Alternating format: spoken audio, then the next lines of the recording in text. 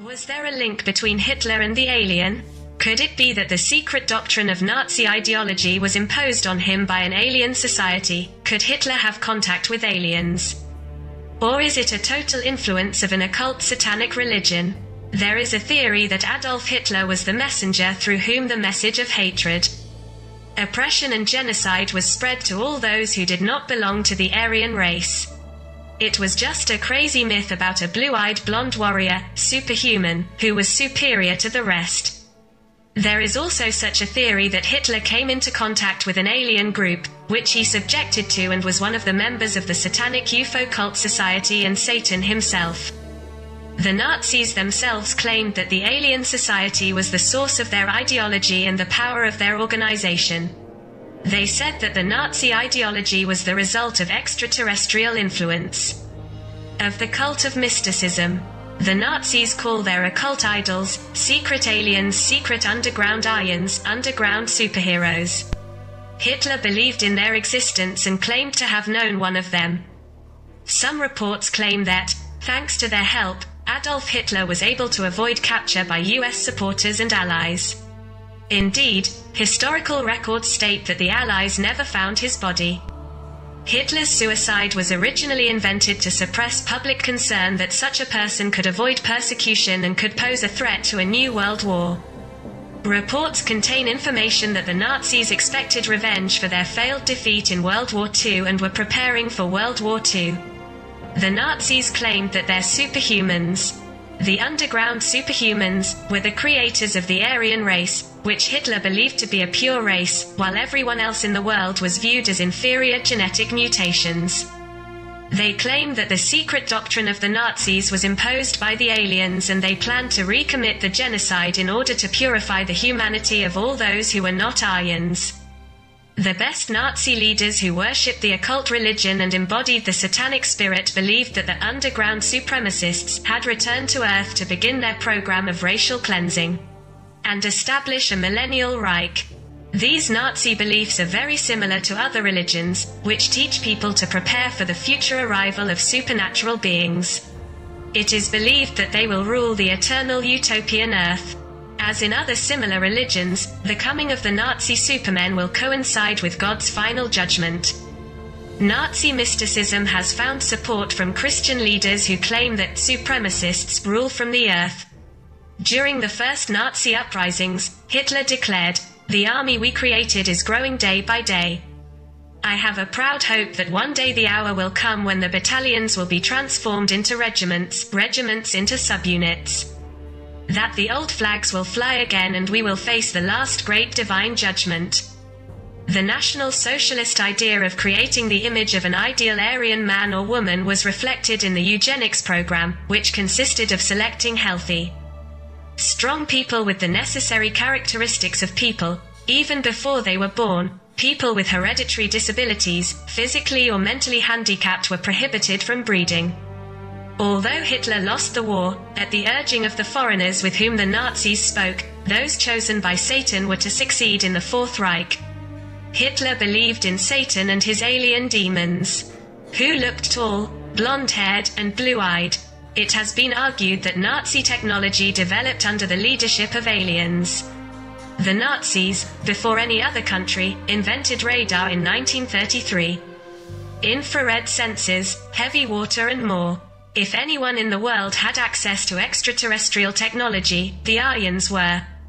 Some official historical evidence suggests that Hitler did not actually commit suicide. In 1952, Dwight David Eisenhower said, We have not been able to find any evidence of Hitler's death. Many believe he fled Berlin. When President Truman asked Joseph Stalin at the 1945 Potsdam Conference to answer whether Hitler had died, Stalin replied, No.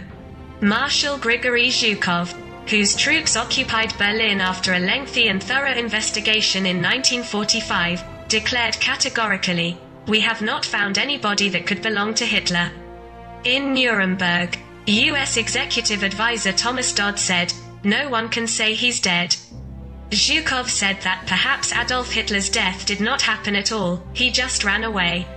Lieutenant General Bedell Smith, Chief of Staff and then Director of the CIA, made a public statement on October 12, 1945 No one can say that Hitler is dead. Colonel Heimlich, the former head of US intelligence in Berlin, said after a thorough investigation in his report, there was no evidence to support Hitler's theory of death. Based on this evidence, no insurance company in America would have paid for Hitler's death. Photograph of a corpse that the Soviet authorities sent as the body of Adolf Hitler. An article in November 1949 read, The Nazis went underground and planned a Third World War. Another August 1952 article, entitled Hitler Did Not Die, said, The fake death of Adolf Hitler in his Berlin bunker is the greatest deception in history. Hitler is not dead, he is alive, and today he is sending the Nazis underground. In the September 17, 1974 Canadian Broadcasting Corporation's As It Often Happens program, a professor, oral and maxillofacial surgeon at the University of California, Los Angeles School of Dentistry, said that Adolf Hitler ordered a special plane to disappear from Berlin in a direction unknown to all doctors and dental records, especially x rays, of all prominent Nazis. He also said that the documents used to identify Hitler's body were recovered from memory by a dental assistant who disappeared and was never found. A zigzag editorial in Santiago, Chile, on January 16, 1948, described that on April 30, 1945, Captain Peter Baumgart took Adolf Hitler, his wife Eva Braun, and several loyal friends on a flight from the airport. Tempelhof in Tondern, Denmark, which is still controlled by Germany. From Tondern they took another plane to Kristiansund in Norway, and from there an underwater convoy. The Jewish writer Michael Bar Zohar recalled that in 1943, Admiral Dönitz declared, the German submarine fleet is proud to have created an earthly paradise, an invincible fortress for the Fuhrer. He did not say in which part of the world this paradise existed, but it was quite obvious that in South America, the German writer Matten recalled what Admiral Dönitz had told the graduates of the naval cadets in Kiel in 1944 the German Navy continues to play an important role in the future. The German Navy knows all the secret places where the Fuhrer is safe. There he can make his final preparations in complete peace. If we accept the assumption that Nazi Germany was under the influence of aliens and gained access to technologies that significantly extended life expectancy, then it can be assumed that the Nazis will try to achieve their ambitions and return the global power of the Aryan race. In turn, the other universe, whose symbol is the swastika, will win the final victory. Nazi space program, eight German technologies that stunned the Allies. Did the Nazis have a space program? Were Hitler's scientists able to carry out a mission to the moon? Did the Nazis get their hands on an alien technology that, through reversible engineering, they tried to turn into rockets and spaceships? Questions to which, as the years go by, we have more and more answers. We present to you eight German technologies that amazed the Allies and that formed the basis of the space programs of the USSR and the USA.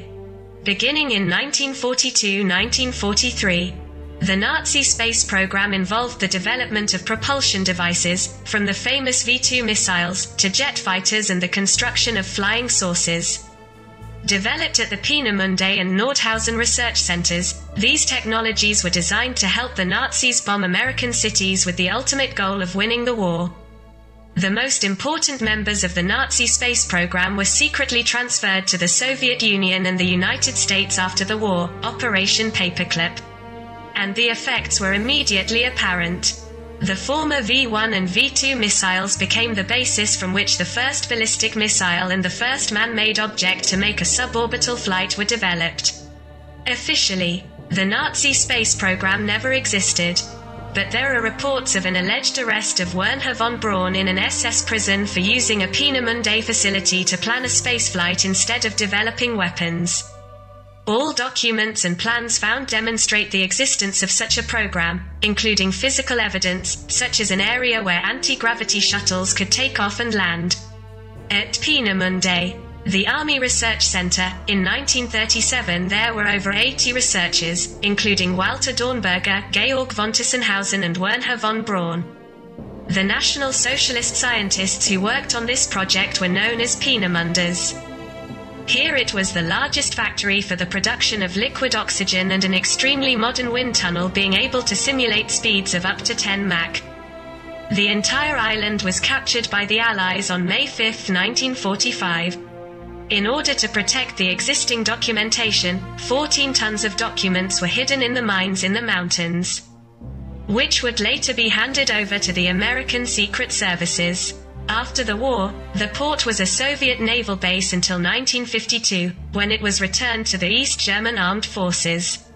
At first, the port facilities were used by the East German Coast Guard, new ones being built later. On December 1, 1956, the headquarters of the East German Coast Guard were established here.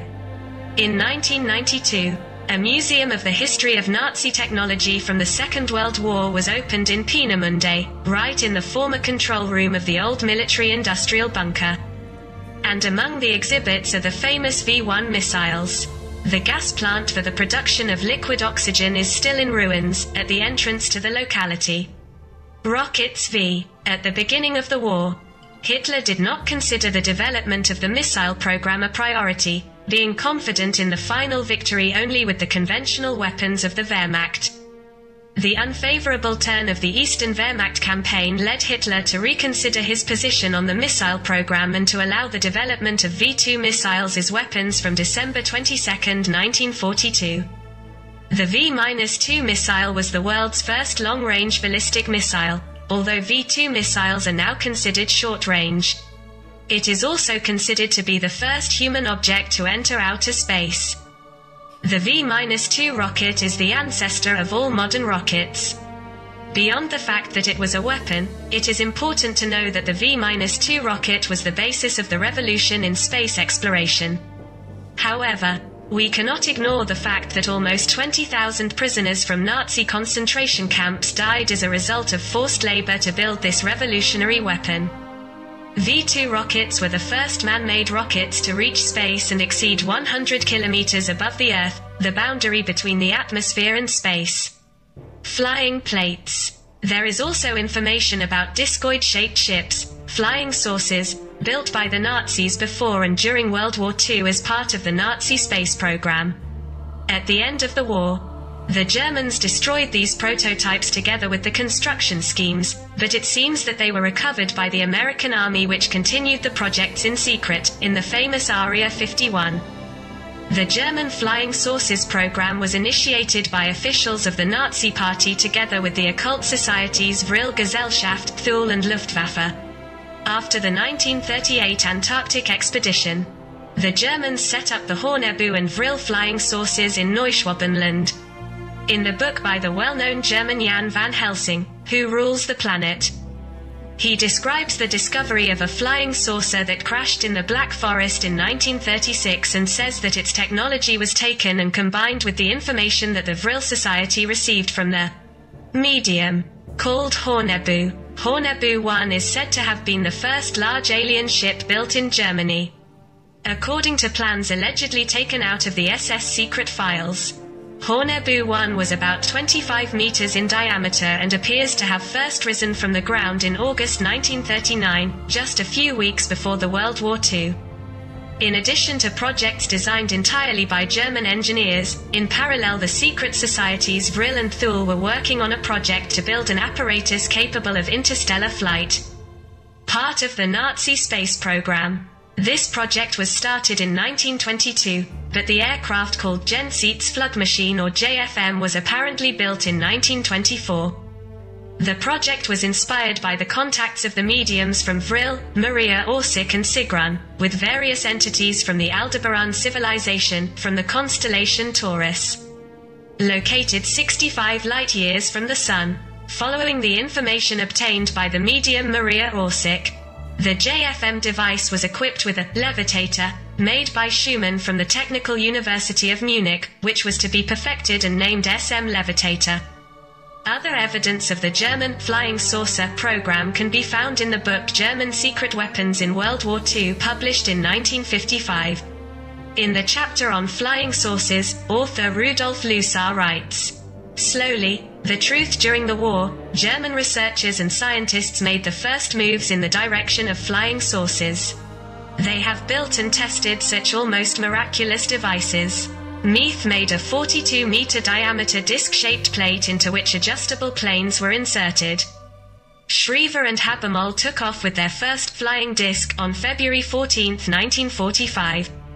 In three minutes, they reached an altitude of 12,400 meters and reached a speed of 2,000 kilometers per hour in horizontal flight.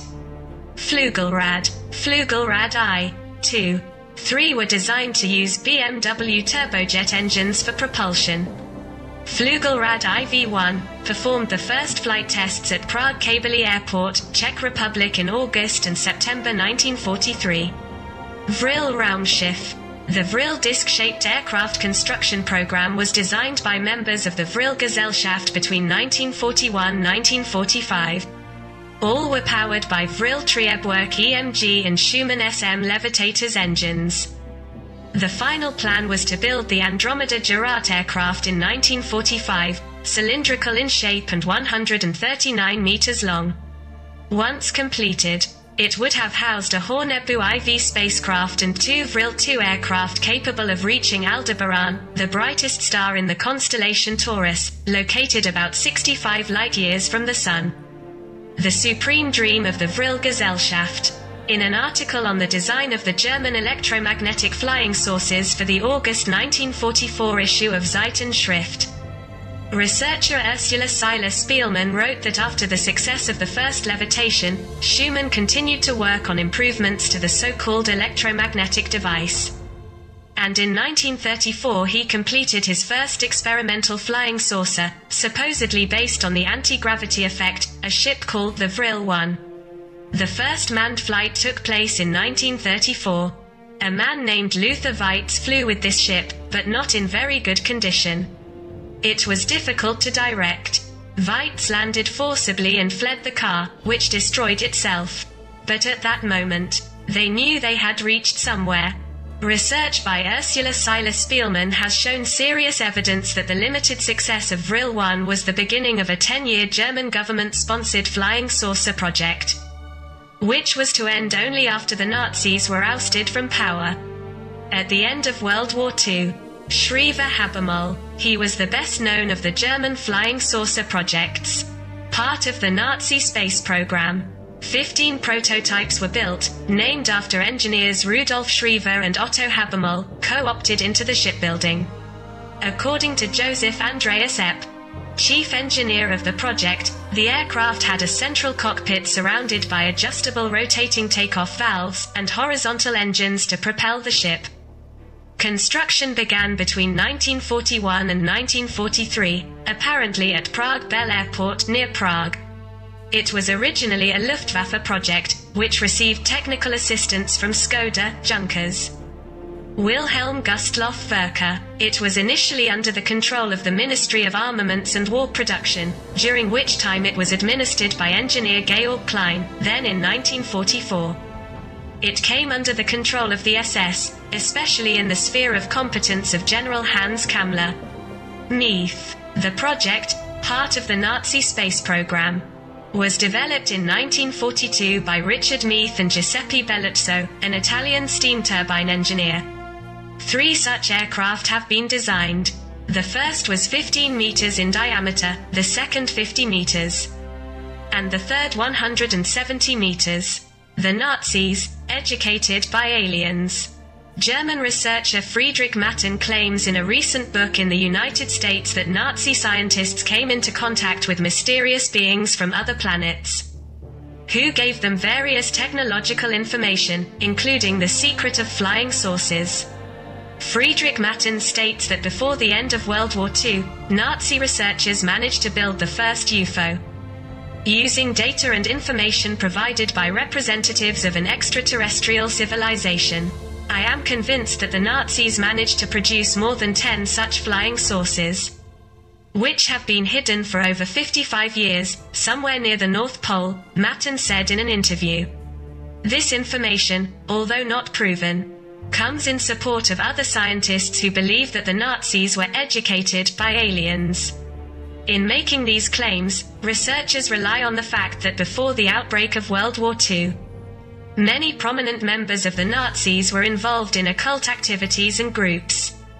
One of the most well-known groups strongly claimed that the representatives of an ancient race had much more advanced technologies than those of the people of that time and lived in a secret, underground region. This region was called Hyperborea and was located near the North Pole. The dream of the Nazi researchers was to create an alliance with these mysterious beings, from which to obtain the technology necessary for world domination. The information has never been considered true before.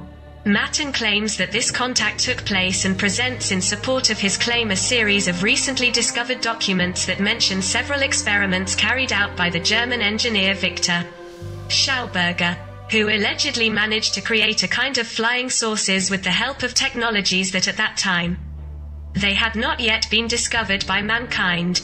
I believe that at least a few Nazis managed to take refuge in this secret place at the North Pole and continued to develop UFOs. I don't know what happened to the mysterious beings that the members of the occult groups were referring to, but I'm convinced that there are people in that area. They may have a few dozen flying saucers at their disposal and wait for the right moment to launch a new Blitzkrieg, according to Friedrich Matten. The German researcher also claims that the representatives of some countries, such as the USA, Great Britain, or France, know the existence of this mysterious place at the North Pole. But they avoid doing more research, for fear of not discovering things that would provoke a wave of panic among Earthlings.